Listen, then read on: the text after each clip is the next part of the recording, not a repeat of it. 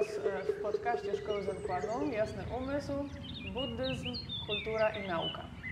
Dzisiaj będziemy rozmawiali o artystycznych i duchowych wizjach.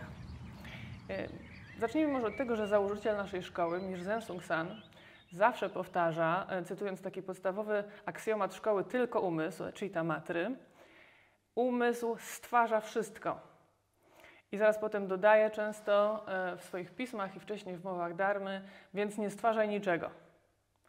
A jednak e, w, historii buddyzmu mamy aż 84 tysiące zręcznych środków, w tym właśnie buddyjską sztukę, która jest nomen omen właśnie tworzeniem. Więc dzisiaj będziemy mówili o tym, jak umysł stwarza różne rzeczy w służbie praktyki. E, ja nazywam się Agata, moje imię darmy to Hein i razem z mistrzem Zen e, Jung-he, spadkobiercą e, koreańskiej linii e, Zen i Grzegorzem Piaskowskim, który jest również nauczycielem darmy w naszej szkole, a oprócz tego etnologiem i autorem wystawy na temat tęchła w Muzeum Mazowieckim w Płocku, będziemy poruszać właśnie te tematy. Witajcie.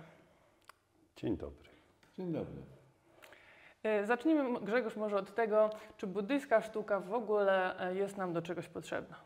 No Grekom, e, znaczy się przepraszam, Grekom była potrzebna, ale przez jakieś 250 lat, może trochę dłużej, e, uczniom Buddy nie była potrzebna za bardzo. Znaczy była potrzebna w bardzo niewielkim zakresie, bo przez e, jakiś czas e, Buddę w sztuce przedstawiano tylko za pomocą symboli. Było to puste miejsce pod parasolem, e, odcisk jego stóp, albo koło darmy, które do dzisiaj jest bardzo popularnym symbolem buddyjskim. I to tylko tyle. Niewiele zatem w tej sztuce buddyjskiej działo się przez e, dwie setki lat co najmniej. A zmieniło się wszystko, kiedy przyszli Grecy. No właśnie, bo to jest, to jest przyczynek do tego, e, wydaje się wielu osobom, że buddyzm to jest taka egzotyczna, dalekowschodnia religia, E, natomiast e, niewiele osób zdaje sobie sprawę, jak dużo do rozwoju i myśli buddyjskiej, i sztuki buddyjskiej włożyli Europejczycy, konkretnie Grecy, starożytni Grecy. To pierwsze teksty buddyjskie właśnie powstały e, w języku greckim, natomiast to, że tutaj w tej sali mamy posąg Buddy i posągi Buddy mamy we wszystkich buddyjskich świątyniach na świecie, zawdzięczamy właśnie starożytnym Grekom. To oni zaczęli przedstawiać Buddę Siakyamuniego, no a potem to się zaczęło. Bo e, sztuka e, buddyjska najczęściej chyba się tak stereotypowo kojarzy z japońskimi drzeworytami, z bardzo wyrafinowaną, minimalistyczną estetyką. E, z ogrodami w Kyoto, które są mm, wyrafinowane i mm, ewokują taką atmosferę nazywaną wabi-sabi, jakiegoś rodzaju przemijania, piękna. Jest to bardzo proste i eleganckie. Zresztą dostało się nawet do designu. Tymczasem tutaj w koreańskiej sztuce mamy do czynienia e, z obrazami, które są bardzo żywe, bardzo szamańskiej w swojej, w swojej naturze. I dzisiaj e, mam nadzieję, że opowiemy sobie trochę o tej tance, o tym, czy o tym tękła. Tęk to jest rama, chła to jest obraz w, w Wubongsa. I w jaki sposób u nas w naszej szkole y, korzystamy z nauczania zawartego w tym tękła. I jak przenika się filozofia buddyjska ze sztuką. Mam nadzieję na taką rozmowę tutaj dzisiaj między nami. Można powiedzieć jeszcze na temat sztuki buddyjskiej, że ona ma kilka funkcji jakby. Po pierwsze jest to inspiracja do praktyki. Myślę, że pier, pier, po pierwsze było to, że patrzymy na posąg Buddy i myślimy, aha, jest praktyka, jest e, nasza natura Buddy, do której dążymy, a więc to po prostu przypominanie.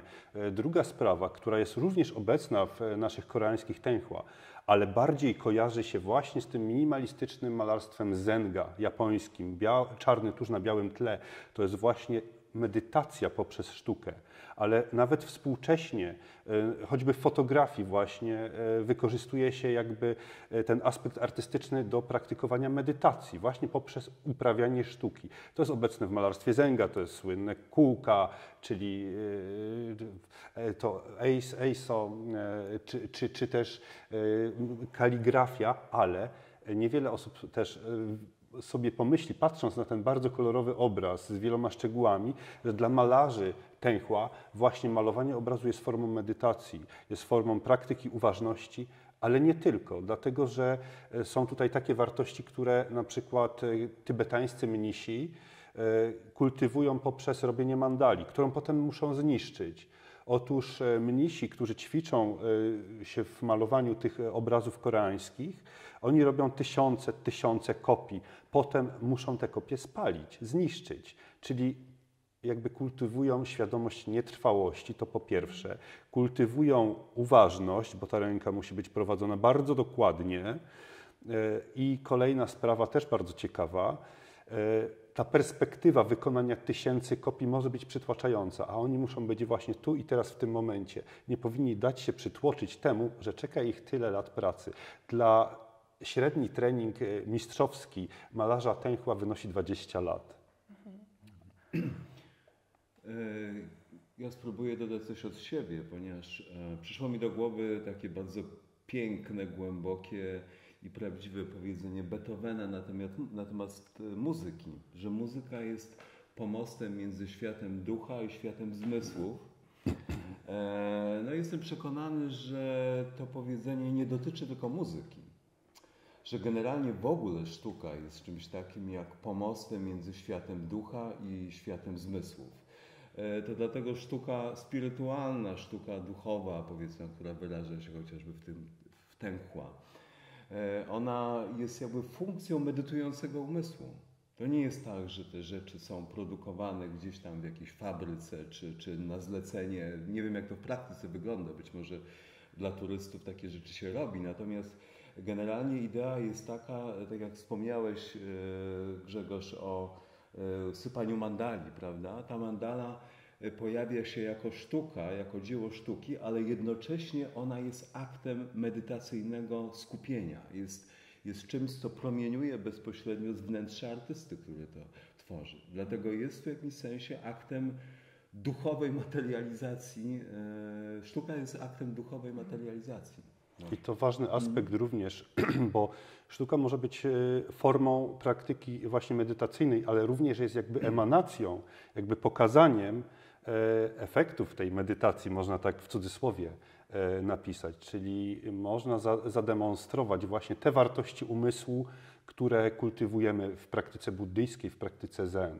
Może właśnie teraz postarajmy się tak systematycznie e, zastanowić się, jak tutaj w naszej szkole e, Kwanum w Polsce i w Europie e, nauczanie mistrza Zensungsana oraz ogólnie pierwotne buddyjskie nauczanie jest komunikowane właśnie przez obrazy, z których korzystamy i w jaki sposób zawiera się też w liturgii, czy w naszych śpiewach na przykład, które wykonujemy codziennie, bo tam też obraz i wizja idą w parze. Buddowie i bodhisattwowie e, mają swoje przedstawienia, ale też mają swoje mantry. I my te mantry śpiewamy. Ja myślę, że to jest bardzo mm -hmm. ciekawe, żeby mm -hmm. przedstawić właśnie, e, jak my praktykujemy w szkole Kwanum z, z wizją i obrazem.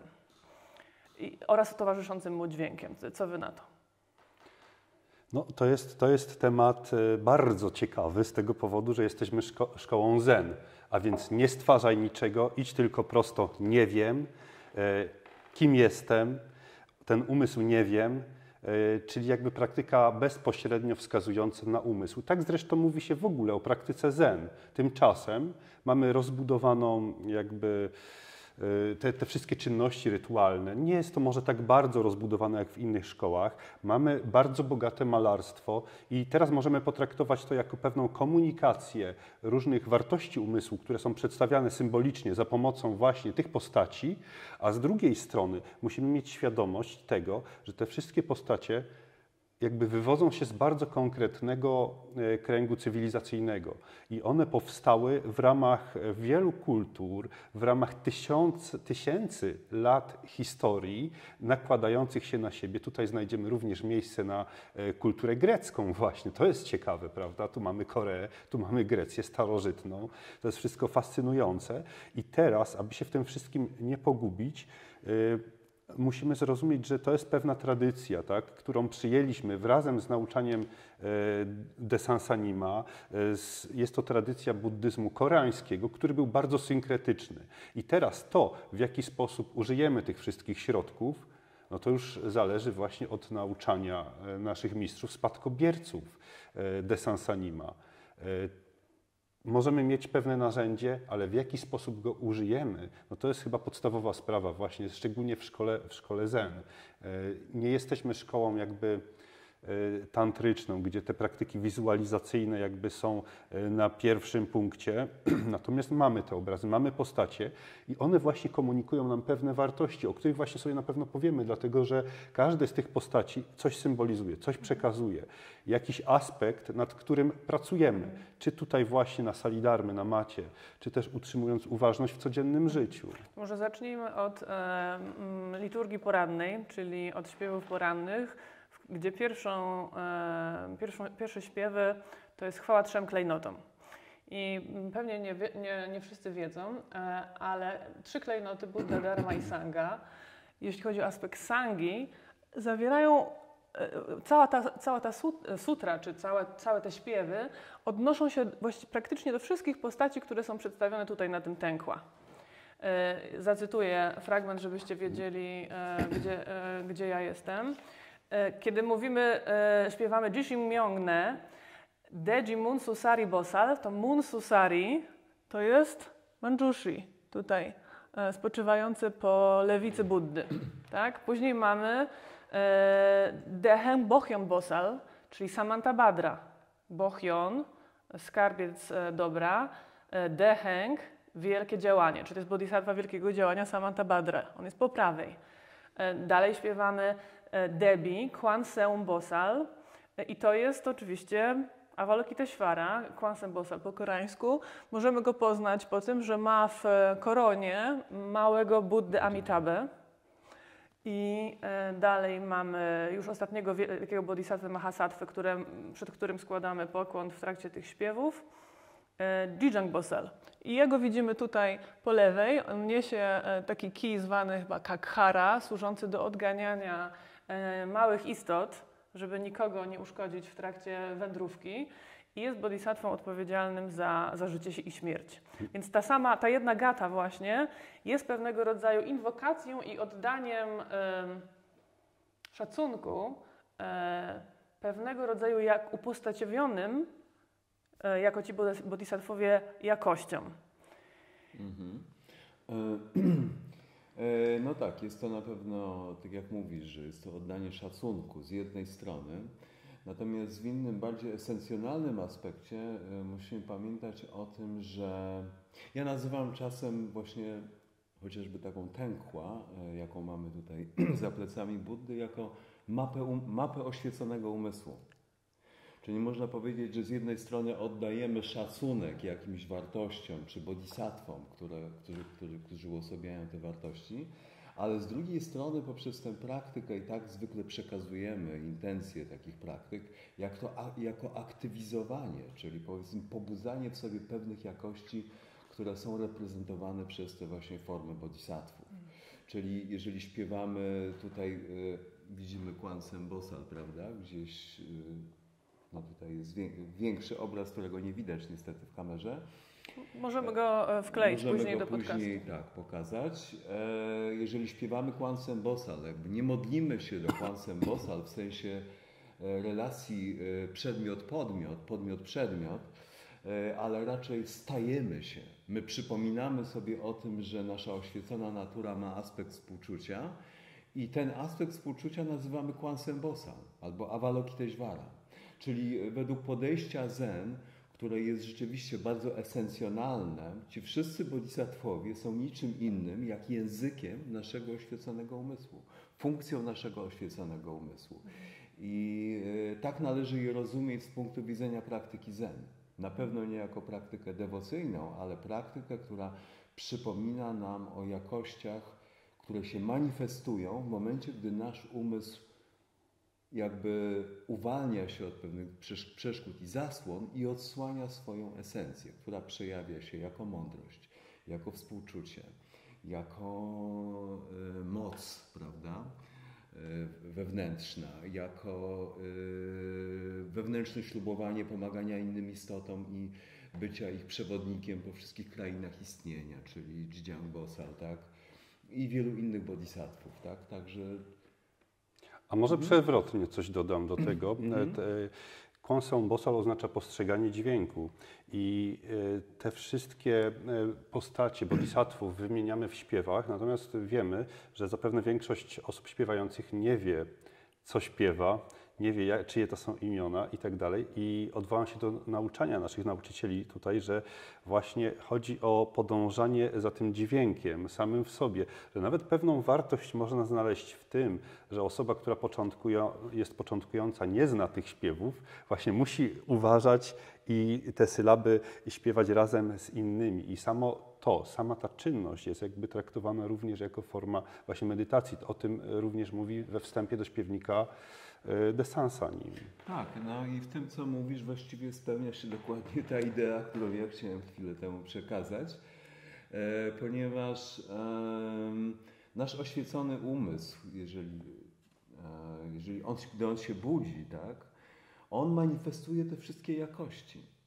Nauczanie mistrza Zen Sung Sana mówi o tym, wszyscy Buddowie i Bodhisattwowie są już obecni w Twoim pierwotnym umyśle, więc jeżeli ktoś nawet nie wiedząc, co śpiewa, śpiewa, ale, ale w tym samym budzi swój umysł e, niekonceptualny, umysł przedmyślenia, który właściwie jest esencją e, praktyki Zen, te wszystkie jakości w nim się budzą. Budzi się uważność, mądrość, współczucie itd., tak itd. Tak, e, tak więc, czy wiesz, co śpiewasz, czy nie wiesz, co śpiewasz? tak naprawdę istotą tego jest Twój stan umysłu. Myśmy rozmawiali mm. o tym, Grzegorz, prawda, przez telefon, jak się przygotowywaliśmy do tego podcastu.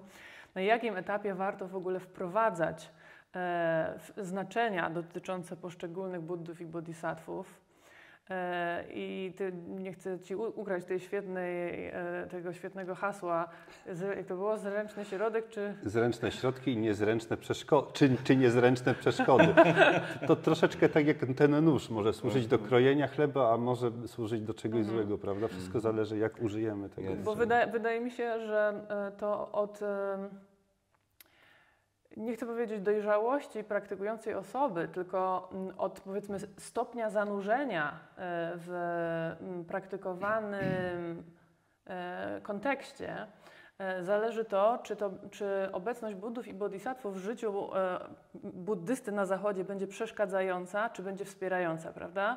Bo na początku zapewne e, część e, z osób trafia do nas e, chociażby ze względu na to, że wychodzi ze świata religijnego. No została, doświadcza zniechęcenia tym religijnym światem, w tym światopoglądem, w którym pojawia się kilka sfer egzystencji, na przykład niebo, piekło oraz ziemia, prawda? Jeśli taka osoba w momencie tego zniechęcenia, mając nadzieję, że spotkała e, religię, która jest jakoś możliwa do umocowania wręcz w paradygmacie naukowym, bo tak przecież ostatnio się dużo mówi o medytacji i jej wpływowi na mózg, mm. jeśli ona się spotka znowu z opisami sześciu krain, sześć loka, tak?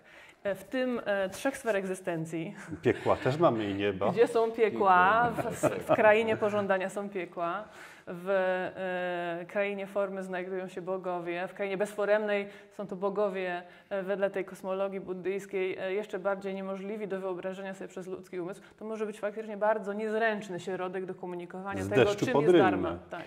Tak, no oczywiście, że tak. Dlatego my tutaj zgłębiamy oczywiście jaki temat symboliki, ikonografii i tak dalej. Natomiast pamiętajmy o tym, że mistrzowie Zen, którzy przynieśli tę naukę na zachód, w tym Zen, mistrz Zen Sung San, nigdy nie przywiązywali zbyt wielkiej wagi do wyjaśniania tych rzeczy. E, skupiali się raczej na przekazaniu esencji Zen, która jest esencją nauki o umyśle i jest esencją praktyki e, umysłu, przenikania umysłu aż do jego istoty.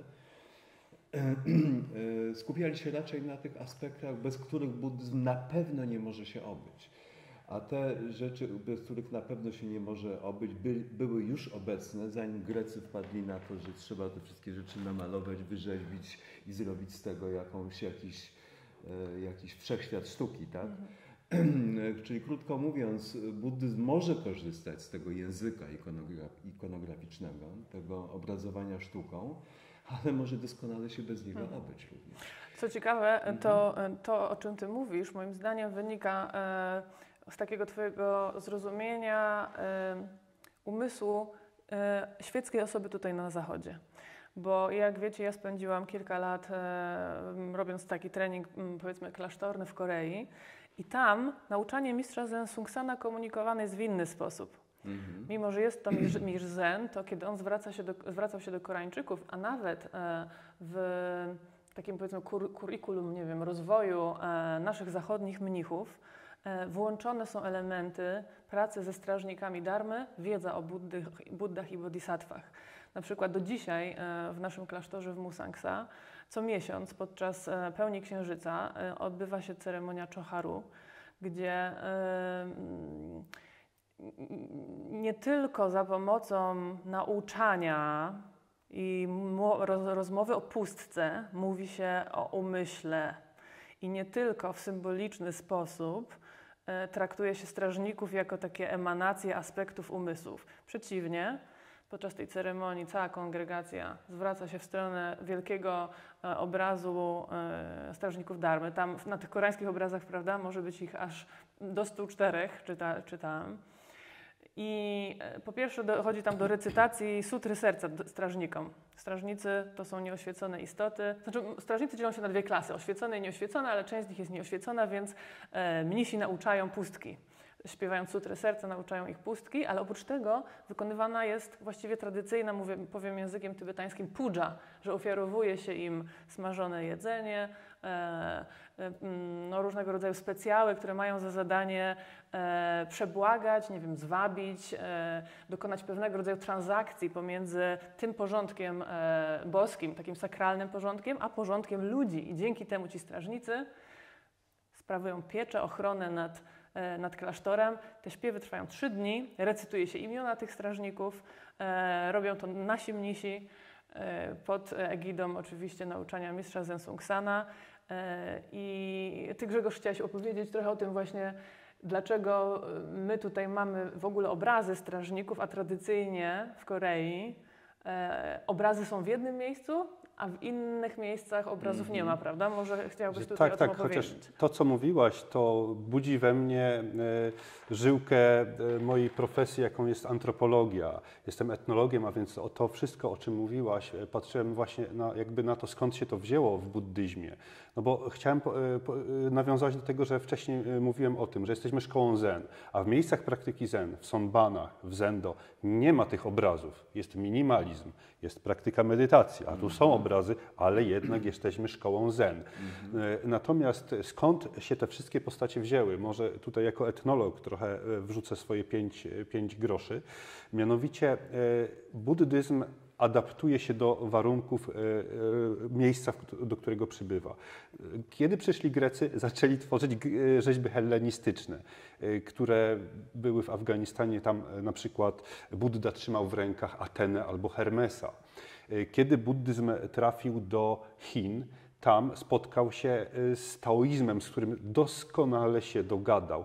Te pierwsze sutry w ogóle były y, wyjaśniane, buddyjskie, wyjaśniane językiem taoistycznym, ponieważ doskonale się do tego nadawały. Ale tam był nie tylko taoizm, był konfucjanizm, był, był cały szereg wierzeń w różne duchy, w różne postacie jakby hybrydowe, smoki i tak dalej. I wiele tych postaci zostało adaptowanych one wywodziły się nawet jeszcze głębiej z wet indyjskich. Zostało adoptowanych właśnie do buddyzmu, również po to, aby ludzie, którzy tam mieszkają, jakby łatwiej było im komunikować te treści, bo oni już znali te duchy, te węże, te, tych władców, e, którzy, e, nieba, niebios, którzy sprowadzali deszcz albo coś. I oni zostali adaptowani do buddyzmu jako strażnicy na przykład właśnie. To jest ciekawe. I mówi się o tym, no dobrze, w takim razie y, buddyzm dotarł do Tybetu, tam spotkał się z mm -hmm. lokalną filozofią, wiedzą, do Chin to samo. I teraz pytanie, co się stanie na Zachodzie?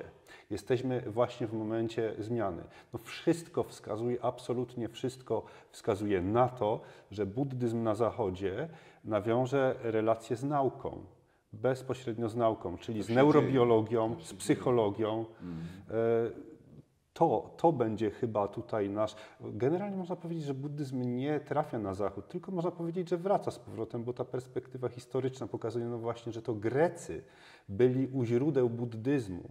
E, to po grecku ukazały się pierwsze teksty buddyjskie filozoficzne. No, tak istotne rozważanie jak to, co to jest ja, to jest przecież Menander, pierwszy Soter, w dyspucie z mistrzem z Nagaseną. Oni dyskutowali o tym, co to jest ja, czy w ogóle ja istnieję. A więc zasadniczy, zasadnicze rozważanie jakby filozofii buddyjskiej zawdzięczamy właśnie Grekom. I teraz z powrotem e, buddyzm, można powiedzieć, trafia na zachód w pewnym sensie.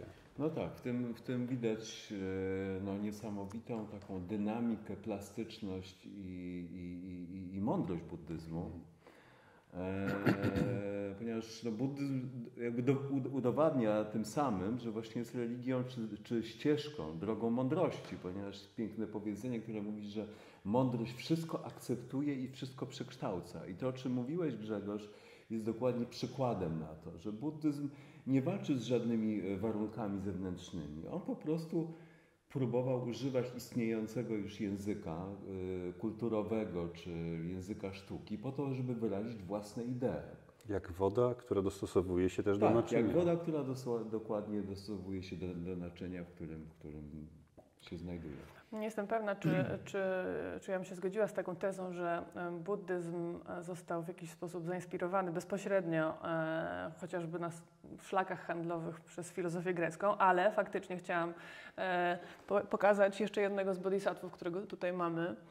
Po prawej stronie trzymający wadrze, czyli taki trójząb, podwójny trójząb. Vajrapani, który właśnie naślado jego przedstawienia, niekoniecznie tutaj na tej tance, ale na innych, przypominają faktycznie E, jak twierdzą komentatorzy, e, badacze, albo Herkulesa, który tak samo jak Vajrapani przedstawiany jest właśnie z taką bardzo bogatą muskulaturą, prawda, z odsłoniętymi takimi e, cyrkla, cyrkul, cyrklami i spiralami mięśni. Ma czasami na, głowę, na głowie skórę lwa, podobnie jak Herkules. Lub e, takie też były spekulacje, że może wzorowane to było na wizerunkach Zeusa, trzymającego piorun, bo wadża pani, to znaczy wadża piorun albo diament, pani trzymający, dzierżyciel pioruna. Mamy go tutaj e, jako jednego z tych ośmiu klasycznych bodhisattvów, mahasattvów, których część już, e, część już wymieniałam. E, Vajrapani też e, jest jednym z bodhisattvów, którego imię recytujemy u nas znowu podczas recytacji e, Sutry Tysiąca Oczu i Rąk. Tam jest taka, taki fragment, nie wiem czy pamiętacie, zaraz e, właśnie Wam przeczytam, e, że wymieniamy imiona różnych bodhisattvów, przyjmując w nich schronienie. Namu, to znaczy przyjmuje schronienie, tak? Więc mamy Namu Kwansem Bosal Mahasal, potem mamy Namu Deseji Bosal Mahasal. I ten Deseji Bosal to jego sanskryckie imię to jest Maha, Maha, e, e, Maha e, pra, jak to było? Maha Prapta. Maha Prapta, tak mi się wydaje. Co jest imieniem Vajrapani właśnie. Więc e, wszyscy ci bodhisattwowie są nam znani, choć nie znamy w pełni e, ich imion. Tak nie każdy z nas potrafi to wszystko wyrecytować. W ogóle o Vajrapani nie mówimy, e, ale tak sobie pomyślałam a propos tych Greków. Znaczy wpływy, y, wpływy greckie w sztuce buddyjskiej Azji są oczywiste i są znane, przez, znane wśród historyków sztuki.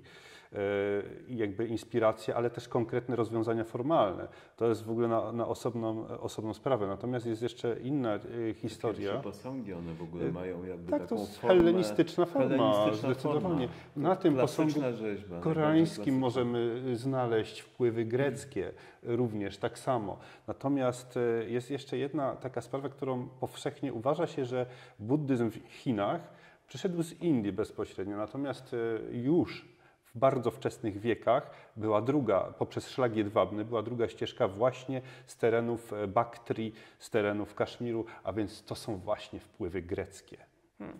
Jeśli chodzi o wpływy wedyjskie, to z kolei mamy tutaj też e, Bud, e, bramę. Brama jest e, po lewej stronie, trzyma kwiat lotosu, bo brama to właśnie, jeśli dobrze pamiętam, e, rodzi się z lotosu, który wyrasta tak, z pępka snu Wisznu, Tak? To, to jest Wisznu w tej, w tej mitologii e, hinduskiej śni ten świat i pojawia się ten lotos, na tym losie, lotosie pojawia się Brahma i Brahma jest jednym z bogów, jak widzicie tutaj włączony został właśnie dzięki sutrze Avatamsace, która była taka ważna w Korei, do panteonu bóstw koreańskich. Po lewej natomiast mamy tutaj mm, w skrajnej lewej Indrę, który trzyma górę, e, górę Meru. E, to są te bóstwa wedyjskie. Tak, tak, bo to, to, była taka kula śnieżna, tocząca się właśnie z Indii i po drodze zabierała tych wszystkie postacie bogów tak. i tak dalej, adaptująca właśnie poprzez tą mądrość, poprzez tą mądrość wody, e, w, dostosowującej się do naczynia, do, do lokalnych warunków. A więc ten pociąg zabierał po kolei wszystkie te postacie i one znalazły się na Tęchła. I na Tęchła możemy znaleźć postacie z wielu systemów e, filozoficznych i religijnych, bo mamy tutaj tak, dużo tego, mogę się pomylić w wymienianiu. Postacie wedyjskie, y, konfucja, z konfucjanizmu, taoistyczne, oczywiście buddyjskie, no ale także szamanistyczne. Szamanizm w Korei do tej pory ma się dobrze i w naszych praktykach można doszukać się również no, kido. E, typowo szamanistyczne źródła. Kido, czy to jest szamanizm, czy to jest jombul, prawda? E, czy, czy to jest może jednak e, gdzieś się spotyka e, te praktyki? Więc tutaj mamy pos- postaci naprawdę z całego szeregu e, filozofii i religii. Nie- Co więcej, niektóre z obrazów mają wersję na przykład e, na przykład y, obraz pod tytułem Siedem Gwiazd jest w Muzeum Mazowieckim, można go zobaczyć. Tam wisi wersja akurat buddyjska, gdzie mamy siedem gwiazd, to jest konstelacja Wielkiego Wozu, czczona e, na Dalekim Wschodzie. E, Tam mamy siedmiu buddów, każdy odpowiada jednej gwieździe, natomiast w wersji taoistycznej ten obraz wygląda tak samo, tylko zamiast siedmiu buddów znajdziemy tam siedmiu boskich generałów. A więc e, widzimy tutaj totalną wymienność, e, dostosowanie się, natomiast e, właśnie tutaj to, co jest komunikowane przez te obrazy i to, co jest nauczane, prawda, jest chyba e, jakby sercem.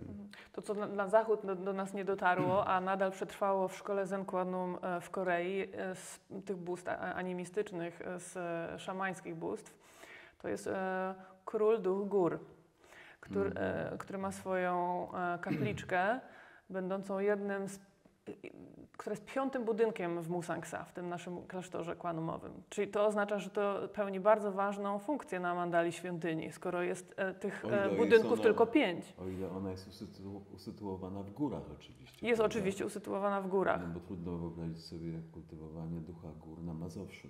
No, zga, zgadza się, tak. Ale przewieźliśmy jedną, tank, e, jedną tankę z e, kolekcji właśnie, chyba powinniśmy podziękować The Ansunim, prawda? Bo Mhm. No Rozmawiamy właśnie, o cała historia. tękła, które tutaj będziemy pokazywać, może po- opowiesz za chwilę e, The, Ans- The Ansunim. Przewieźliśmy e, Ducha Gór z kolekcji The Ansunim do Borisa, do naszej, e, naszej świątyni, która jest w górach w, Pirenejach. w Pirenejach, Mhm. dokładnie. Mhm. No i w Musangsa mamy Sonpang, czyli salę darmy, w której zresztą są obrazy, notabene, tak, wyjątkowo, ale faktycznie w koreańskich, e, w koreańskich salach darmy, jeżeli jest jakieś przedstawienie artystyczne, to to jest Buddha ascetyczny, Mhm. przynajmniej takie widziałam, Lustro Z- zdarza się, lustro się zdarza, tak. które symbolizuje czysty umysł. Jest Mówimy to, o sonbanach, miejscu, gdzie Sonbany, praktykuje się tak. medytację. czyli w- miejsce medytacyjne. Drugi budynek to jest sala do śpiewów, e, Bobtang, e, czyli sala darmy, można powiedzieć. E, I tam znajduje się e, ołtarz przedstawiający Buddę Shakyamuniego właśnie z Manjushrim, siedzącym na lwie i z Samantabhadrą ujeżdżającym e, słonia. Po lewej jest ołtarz Amitabhy Buddy, który jest używany podczas czesa, czyli ceremonii pogrzebowych. Triadą Amitabhy jest właśnie z jednej strony Avalokiteshvara, z drugiej strony ten Vajrapani. A po prawej jest obraz strażników Darmy, liczący sobie e, kilkadziesiąt różnych przedstawień, które właśnie wymieniamy. To jest trzeci budynek. Czwarty budynek to jest biuro z dormitorium. E, I piąty budynek to jest właśnie ta kapliczka Ducha Gór. Nie ma, nie ma tam innych tradycyjnych kapliczek, które są w e, koreańskim buddyzmie. Właśnie nie ma kapliczki Siedmiu Gwiazd, nie ma kapliczki Buddy Medycyny, nie ma kapliczki e, Tam czasami jest taka kaplica, w która łączy w sobie zarówno ducha góry, jak i jednego ze świętych archatów. Kolejna kaplica w, w, w, w tym koreańskim buddyzmie. I nie ma też tam e, takiego miejsca, w którym widzimy 500 archatów. To są postacie, które spotkały się podczas pierwszego konwentu Buddy i z reguły jest też takie miejsce upamię upamiętniające, e, upamiętniające to wydarzenie, podobnie jak Jijang Bosal, taka kaplica Jijang Bosal. No tego nie ma, ale duch gór jest.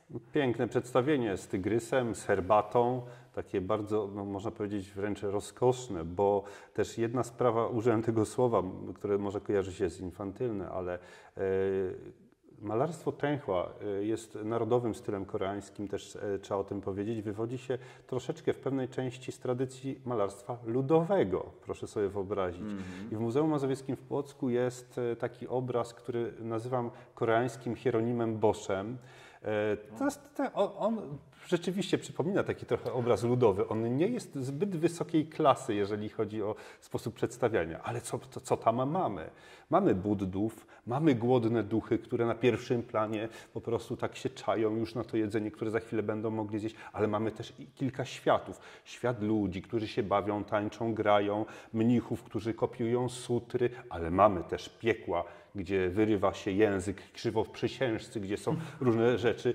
Y, kiedy dzieci są, oglądają bardzo z dużym zainteresowaniem ten obraz, i, a, a dorosłym tłumaczę, w buddyzmie piekło jest stanem umysłu, ale tu widzimy konkretne jakby sceny właśnie tych tortur piekielnych. I teraz ja, jak ja to mogę zrozumieć? No jeżeli ten mhm. obraz wisiał, obraz bardzo w takiej konwencji ludowej można powiedzieć, E, wisiał w jakiejś wiejskiej świątyni. No to jeżeli ten koreański rolnik przyszedł zmęczony z pola i chciał mieć, i, i, i czy należało mu komunikować pewne dobro, zło, do, yy, jakby czynności dające dobrą karmę i złą karmę, no to dostał konkretną Biblię Pauperum, która mu konkretnie mówi, jak będziesz robił źle, to czeka cię coś złego. Tak, dlatego ja myślę, że, że te, to malarstwo, prawda, i cała ikonografia jest po prostu językiem, tak? Owszem. Jest językiem, to jest po prostu skrótowy, kompaktowy przekaz bezpośrednio do umysłu, czyli zamiast y, czytania, wyjaśniania, opisywania, to po prostu mamy konkretne uderzenie w umysł samym obrazem, prawda? Yy, dlatego, yy, dlatego no, jakby jest to dość istotny aspekt całej tej kultury, prawda, i całej panoramy duchowej yy, buddyzmu. Natomiast obawiam się, że, że mm, poza wartością kulturową, estetyczną, symboliczną, to ta forma przekazu buddyzmu ma no, dość słabą przyszłość na Zachodzie. Mhm. No właśnie, może się nad ja, tym zastanowić. Ja, ja, y, ja powiem o, o, sobie, tak? Ja jestem nauczycielem tej szkole od 23 lat, y, mistrzem Zen od kilku lat. I przyznam się, że ja oczywiście słucham tego, tych potoczystych wywodów Grzegorza i Agaty, którzy się dużo lepiej przygotowali do dzisiejszego wykładu niż ja. E, ale wcale sobie nie obiecuję, że będę zajmował się tym głębiej. Słucham z zainteresowaniem, natomiast dla mnie, dla mnie to jest, e, mm, to są jakby bardzo barwne, cenne, ale jednak jakieś obrzeża samego zjawiska, jakim jest duchowość. To jest po prostu przepiękny język, którym komunikuje się mm, e, wartości duchowe, ideały duchowe, Również, co bardzo ważne, aspekt estetyczny tak, świątyń też. Przecież to nie chodzi tylko o to, żeby e, do tych e, obrazów jakoś się odnosić w sensie dewocyjnym, ale też chodzi o to, żeby człowiek wchodzący do takiej świątyni, no wchodzi w pewną scenerię, która Związek powoduje taki wewnętrzny klik. Okay? Jestem w świętej przestrzeni, jestem w jakimś sakrum, jestem w czymś, przestrzeni, która jest pełna symboli i jeżeli im się przyjrzę, to dostanę pewien przekaz. Na przykład, gdy patrzę na, na obraz Avalokiteshvary, jaki to jest dla mnie przekaz? Jest, e, jest to współczucie, tak? Jest to współczucie. E, czy patrzę na jakieś inne tutaj, e, powiedzmy, Bodhidharma, no, która akurat jest troszkę inną formą ikonografii symbolizuje medytację i esencję przekazu zen. W związku z tym no, umysł natychmiast jakby dostraja się do pewnego, wchodzi w pewien specjalny, uroczysty stan. I taki jest sens istnienia w ogóle takich rzeczy. E, Z tym, że oczywiście e, mamy songbany, tak? czyli zendo, Mhm. Inaczej, e, które komunikują nam troszeczkę coś innego. Komunikują nam właśnie świat wolny od formy i świat nieczepiania się jakichkolwiek form. Właśnie w tych oto, w tych, w tych miejscach praktyki, które są absolutnie estetyczne. E, Nawiasem mówiąc, e, rozmawialiśmy o, o lustrze też, którego się używa e, nad ołtarzem. Więc ponieważ ja byłem kiedyś w Tel Awiwie, prowadziłem tam jakąś sesję, nie wiem czy wciąż to miejsce jest i czy tak wygląda, ale nawet w ośrodku Zen naszej szkoły w Tel Awiwie e, osoby praktykujące nie chciały mieć posągu Buddy. Wisiał, było tam lustro. Tak dla jasności, lustro symbolizuje czysty umysł, do którego, e, który porównuje się właśnie do lustra. E, W związku z tym no, to jest naprawdę fantastyczne, że że mamy całą tą kulturę. Natomiast jeszcze bardziej fantastyczne jest to, że buddyzm radził sobie, radzi i będzie radził bez tej ikonografii, prawda? E, No i to jest jakby ten kierunek, w którym ja, ja szczególnie chętnie patrzę. No, Mhm. Mistrz Zensung San mówił o tym, że e, nawet gdybyśmy e, powtarzali Coca-Cola zamiast korzystania ze starożytnych mantr, Mhm. co czasem jest tłumaczone albo było tłumaczone na, na polski czy angielski jako zaklęcia, czy darani, takie to są z kolei długie za, zaklęcia. Nawet gdybyśmy w ogóle nie mieli e, tych pochodzących z sanskrytu, obdarzonych właśnie jakąś wibracyjną, energetyczną mocą e, mantr i darani, to wystarczyłoby powtarzać Coca-Cola, prawda? I on tutaj wskazuje na taki bardzo pragmatyczny aspekt związany z koncentracją, z samadhi, że właściwie dowolny obiekt, jeżeli ob- zostanie obdarzony e, mm, skupieniem i na nim zostanie zastosowana mądrość, tak, polegająca na badaniu relacji pomiędzy przedmiotem a, przed, a, a podmiotem, może stać się doskonałym obiektem medytacji. Ja się z tym zgodzę.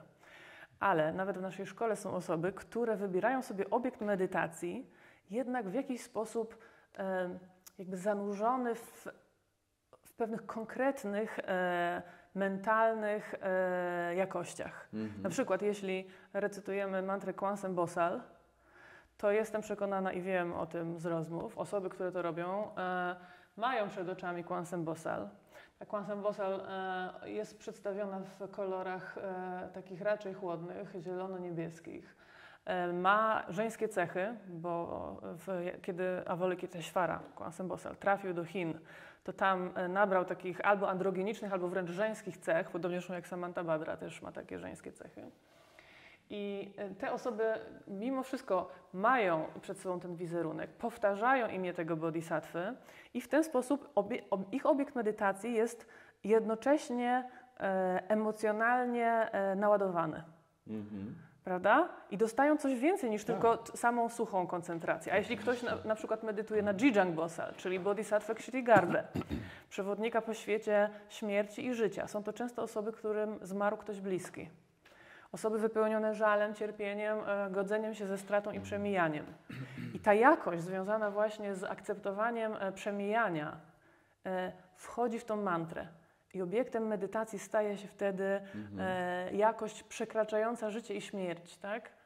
E, to jest, inny, to jest jednak trochę inna, wydaje mi się, bogatsza forma e, praktyki niż taka, niż Coca-Cola. Okej, e, tak. e, No ktoś kiedyś słusznie zauważył, że jeżeli chcesz, to możesz powtarzać nawet Coca-Cola i też będzie dobrze, ale należy powtarzać Kwansem Bosal. Nie znam I nikogo, to- kto by podążył za tą Coca-Colą. Nie znam nikogo, który podążył poza Coca-Colą. E, I, I to, o czym mówisz, Agata, wydaje mi się, że jest związane z tym, że pewne formy mają już jakby taką moc i jakość archetypów. To są rzeczy, które zostały No. przekazywane przez całe pokolenia. Jakby znaczenie zawarte w tej Kwansem Bosal, którą tutaj widzimy lub w tych formach, one jest nasycone e, treścią, która jest w w jakimś sensie transmisją i przekazem wielo, wielo, wielopokoleniowym. Czyli, e, no cóż, Coca-Cola, no być może kiedyś będzie, ale chyba nie, nie za naszego pokolenia jeszcze. No to oczywiście żart. E, natomiast e, jeżeli mówimy Kwansem Bosal, łączymy się pewnie z, z pewną linią archetypu. To jest tak, że dostajemy coś, co jest, staje się jakby wewnętrzną tkanką całego duchowego zjawiska, całego duchowego procesu. Może porozmawiamy właśnie o tych archetypach, Mhm. bo mam tutaj świetny cytat e, z, z Karla Gustawa Junga, twórca tego pojęcia. E, I jestem ciekawa, e, co macie do powiedzenia na ten temat, bo Andrzej już zaczął. Współczesny człowiek nie rozumie, jak bardzo racjonalizm, który zniszczył jego zdolność reagowania na numinotyczne, czyli takie naładowane mocą duchową symbole oraz idee, skazał go na łaskę psychicznego świata podziemnego. Człowiek uwolnił się wprawdzie od przesądów, a przynajmniej tak uważa, ale w tym procesie w ogromnym stopniu zatracił wartości duchowe. Jego moralna oraz duchowa tradycja uległa dezintegracji i teraz płaci za to ogólnoświatową dezorientacją oraz dysocjacją. Antropolodzy często opisywali, co dzieje się ze społecznościami, kiedy ich wartości duchowe zostają wystawione na wpływy współczesnej cywilizacji, tylko techniki i nauki. Członkowie tych społeczeństw tracą sens życia, czasem dotyka ich moralny upadek, a tkanka społeczna ulega dezintegracji. My się znajdujemy obecnie w takiej samej sytuacji. Jako antropolog czuję się wywołany do tablicy.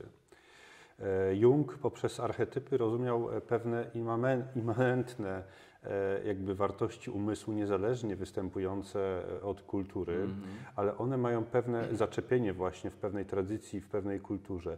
Dla mnie sztuka koreańska tęchła, kiedy przychodzę tutaj do tej świątyni, jest również pewną taką łącznością z tradycją, w ramach której praktykuję, e, praktykuję tutaj zen. E, Natomiast e, tutaj była mowa o dezintegracji. E, To jest bardzo ciekawe zagadnienie, e, bo Jung e, przeciw tej dezintegracji e, psychicznej stawia formę. Formę, pewną formę kulturową, archetypiczną, natomiast gdzie indziej jak w, e, jakby w praktyce zen możemy odnaleźć się właśnie w tej dezintegracji, w tym, że nie ma niczego trwałego, że nie, możemy, nie mamy się czego chwycić. To jest bardzo ciekawe zagadnienie, tak? E, Bo my właśnie pracujemy No w istocie właśnie z tą materią, tak? Bo jest Tak.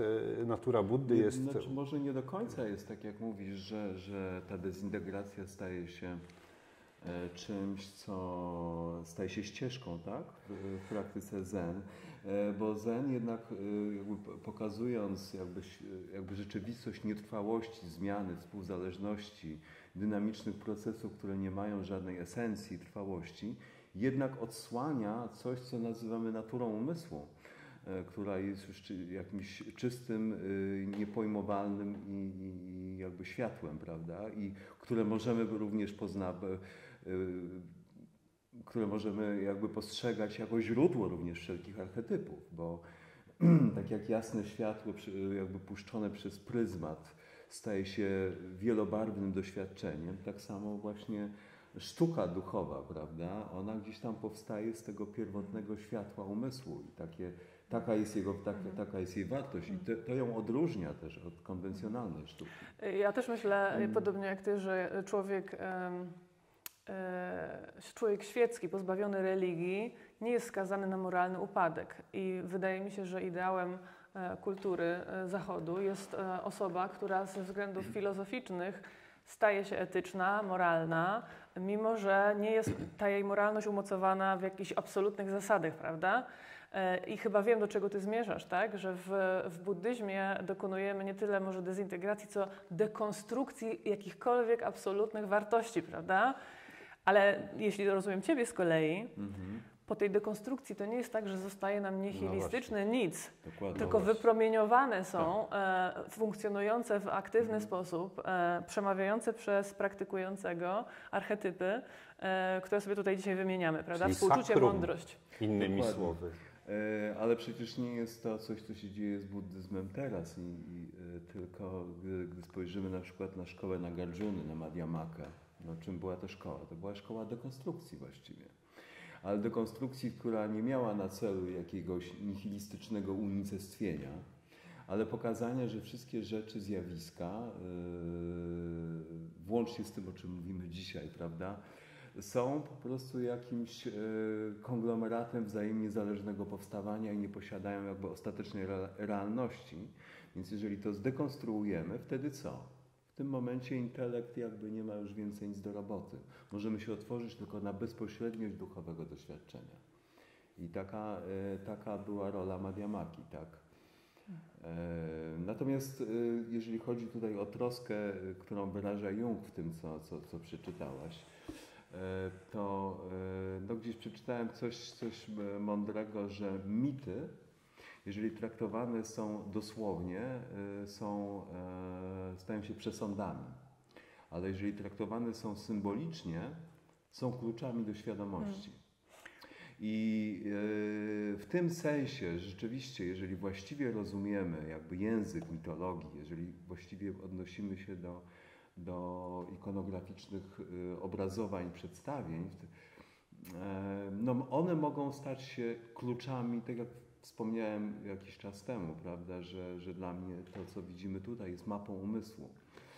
Więc y, oczywiście możemy podejść do tego jak, w sposób dewocyjny, odnieść się do tego jako do y, jakiegoś obiektu kultu, ale jeżeli zrozumiemy to jako pewne jakości, które istnieją w naszym umyśle i to jest opowieść o naszym oświeconym umyśle, wtedy ten mit czy ten właśnie symbol będzie kluczem jakby do odkrycia tej jakości. Mhm. Otóż to.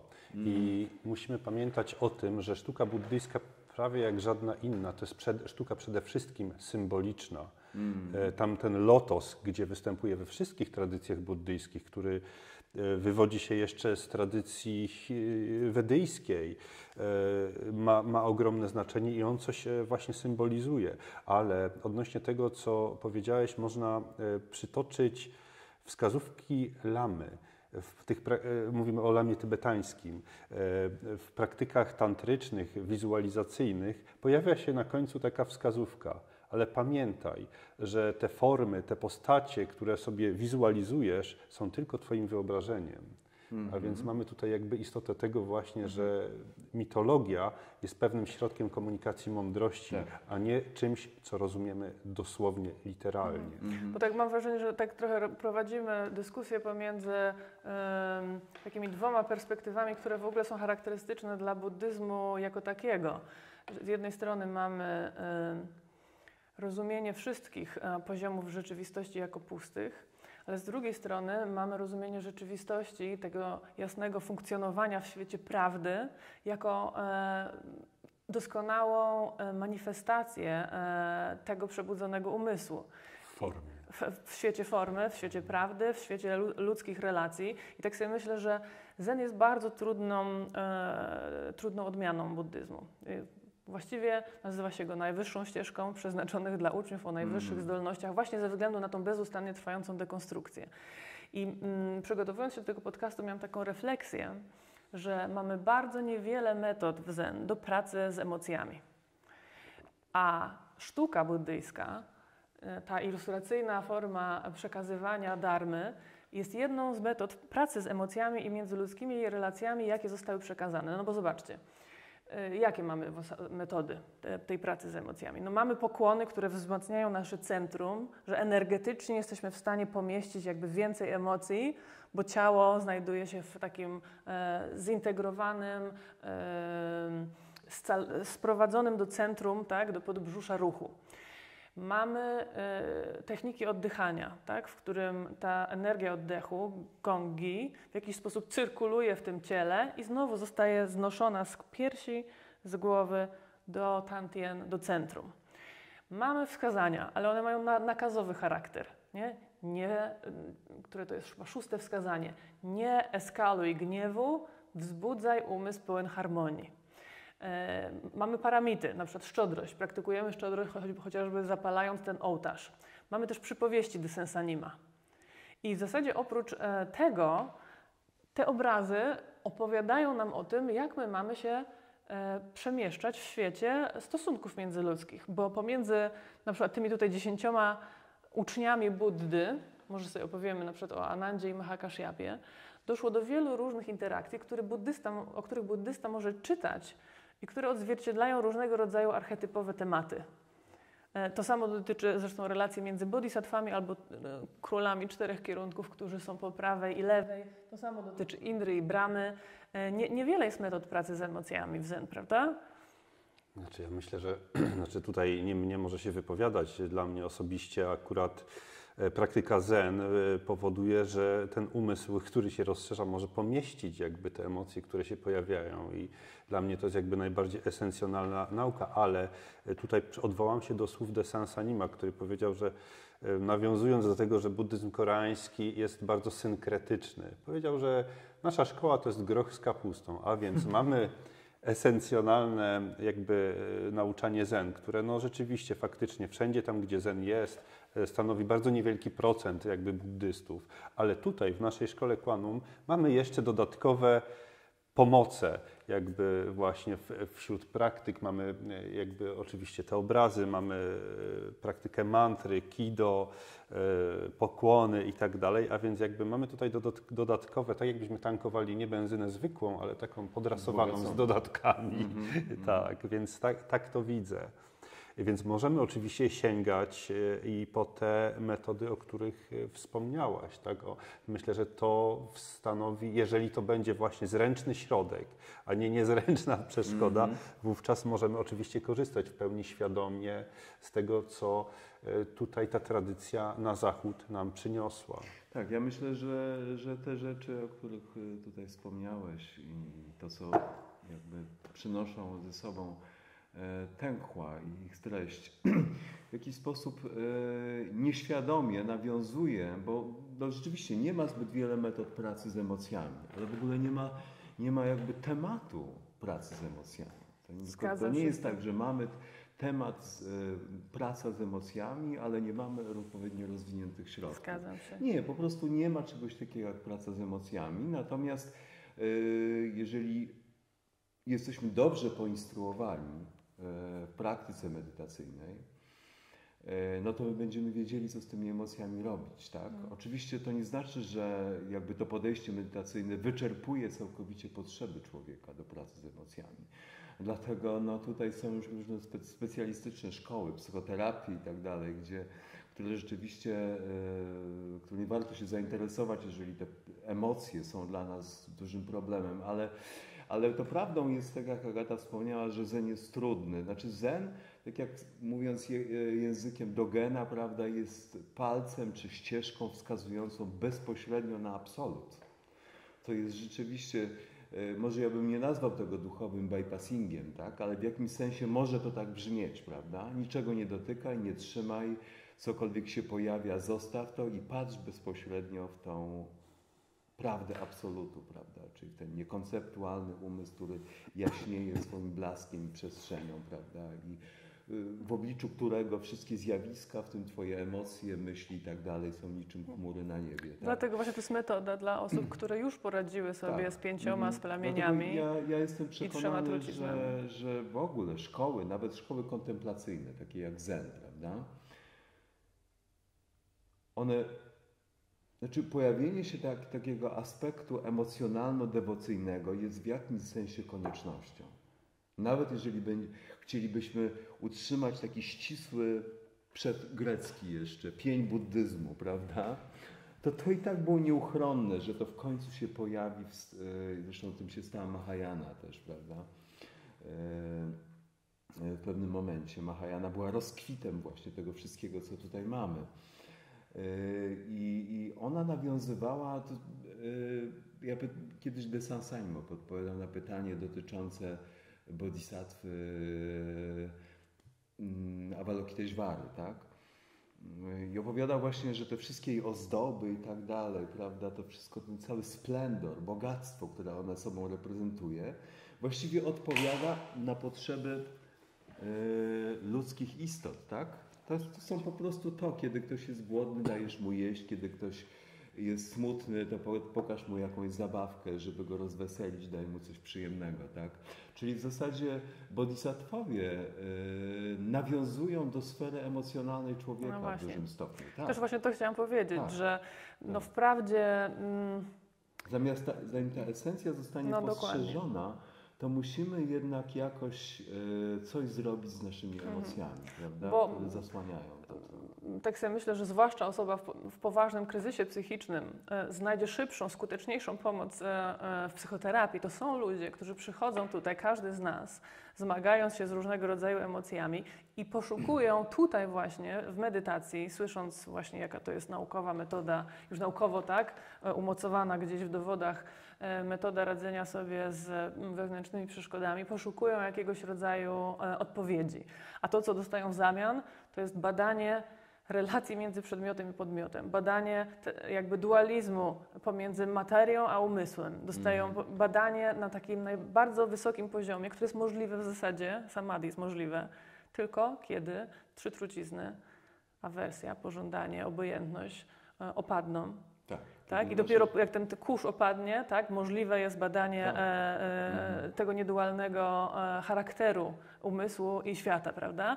Ale się zgadzam z Tobą właśnie, że musimy znaleźć jednak jakiegoś rodzaju przekaz, który ma emocjonalny charakter. I myślę, że tękła i historie Bu- Buddów, Bodhisattvów, dziesięciu uczniów Buddy, którzy tutaj są u góry, to jest, to jest świetny sposób na to i przypowieści, żeby właśnie e, uczyć o relacjach, uczyć o archetypowych, zdrowych, archetyp. etycznych relacjach, nie? Tak, archetyp. Tak, ja myślę, że, że, że podejście jakby takie przedmiotowo-podmiotowe nawet jest obecne w religiach niedualnych. I e, chociażby instrukcja, którą udzielamy osobom, które przychodzą tutaj, nie wiedzą, czym jest pokłon, tak? No wchodzisz do sali darmy, kłaniasz się w stronę posągu Buddy, czyli wykonujesz jakiś, e, jakiś gest e, przedmiotowo-podmiotowy. Ty odnosisz się do e, pewnego wyobrażenia Buddy, czy jego jakiejś symbolicznej Złotego obecności. zresztą. Tak. Natomiast y, kolejny etap wyjaśnienia jest taki, że kłaniając się Buddzie, kłaniasz się sobie. No ale jednak, żeby odkryć to, y, to kłanianie się sobie, bardzo pomocne jest pokłonić się Buddzie jako czemuś zewnętrznemu. E, Dlatego mamy tutaj pewien taki, mm, czy jakby pozorną sprzeczność, tak? E, Bo e, no ja sam praktykując u siebie, u siebie w swoim jakby prywatnym, prywatnej salce darmy, też najlepiej się czuję, kiedy zapalę y, y, kadzidło, świecę i ustawię matę przed Buddą, tak? I będę kłaniał się w stronę posągu Buddy, czyli będę wykonywał jakiś Mhm. akt dewocyjny tak naprawdę, przy świadomości, że tak naprawdę y, budzę w ten sposób to, czym sam w swojej esencji jestem, czyli Buddę. Tak? To ja chciałam przywołać właśnie historię takiej bardzo dualistycznego konfliktu Mm. pomiędzy oświeconymi uczniami Buddy. E, jako taką ciekawostkę, bo e, dzisiaj tutaj mamy 10 uczniów Buddy tam u góry, e, ale czasami jest to tylko Ananda i Mahakashyapa. On, wtedy, on wtedy właśnie, oni wtedy reprezentują tych 10 uczniów, którzy otrzymali nauki na górze Senpa. I ci, tych 10 bud, uczniów to jest też Rahula, Anuradha, e, Shariputra, o którym śpiewamy, że Avalokiteshvara tak, nauczał go pustki podczas Sutry Serca, Tak. gdy recytujemy ją. Mogallana, słynny z, e, z posiadania mocy, e, psychicznych mocy. Shariputra słynny z mądrości. E, I kto tam jeszcze był? No może to nie jest takie ważne, ale mi chodzi o tą dwójkę, tak? O konflikt pomiędzy tą dwójką. Arogancki starzec. Albo arogancki młodzieniaszek. Bo ja myślę sobie właśnie, tak. ja myślę tak. sobie, że to jest e, taka para, która symbolizuje pewnego rodzaju zmianę pokoleniową. Bo e, Mahakashyapa jest to przynajmniej wiekiem najstarszy, choć nie stażem, No właśnie, e, to jest uczeń. Buddy. I on e, bardzo często napominał Anandę, który był jednym z młodszych uczniów Buddy. Zresztą on był jego kuzynem, był jego atendentem, a samo imię Ananda to oznacza e, radość, błogość.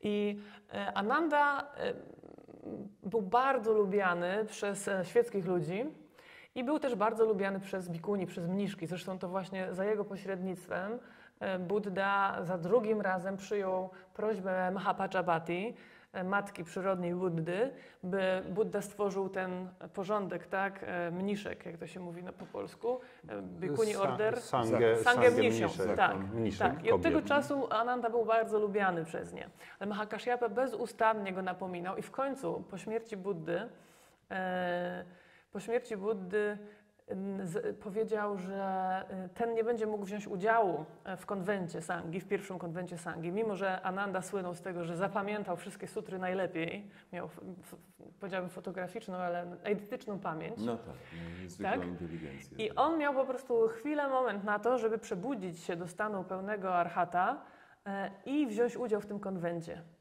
Na którym zresztą oczywiście Mahakashyapa, ten, e, ten, ten e, reprezentant jakby starego porządku, bo to jest pierwszy patriarcha Mahakashyapa, Ananta był drugim, patriarch, e, drugim patriarchą w linii Zen, też go napominał, tak? Tam było kilka różnych przewinień, które Ma- Mahakashyapa zrobił.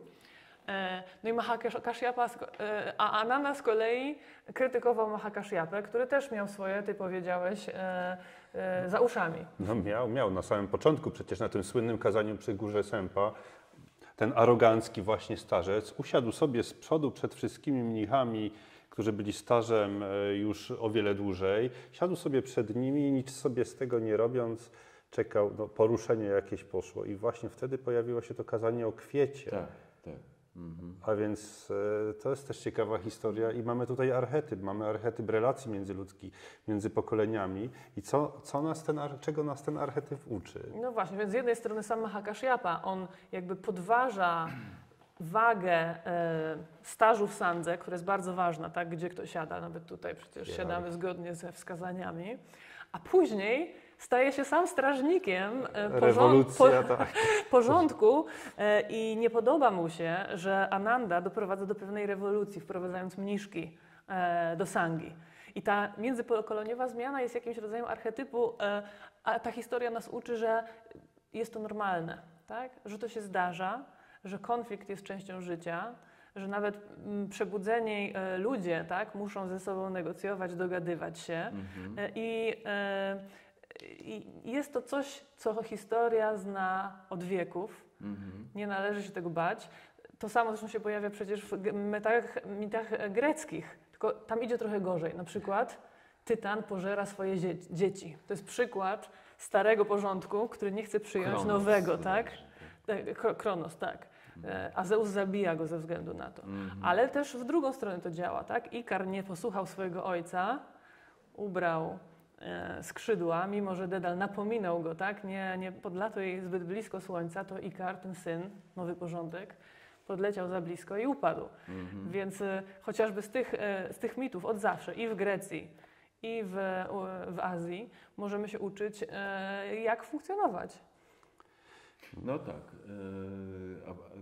E, jeśli chodzi o, o relacje e, między Buddą i Mahakashyapą, to, to e, no bo tutaj się pojawiło słowo arogancki starzec, tak? które, który właściwie był nowy w Sandze, ale był już stary i nagle został w jakimś sensie jej liderem. Tak? No, y, y, jakby Buddha pokazywał prymat mądrości jednak i pamiętamy, że jeden z tych, z tych incydentów, które mówią o przekazie bezpośrednio z umysłu do umysłu, był zainicjowany przez Buddę, tak, jak i na górze Sępa, ale też gdy Buddha odsunął się i zrobił miejsce e, Mahakashyapie, który usiadł obok niego.